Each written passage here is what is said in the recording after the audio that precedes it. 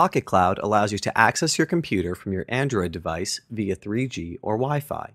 The Auto Discovery feature ensures easy access to your desktop without a lengthy setup. All you need to do is log into Pocket Cloud using your Google account on as many Macs or PCs as you would like to gain remote access to.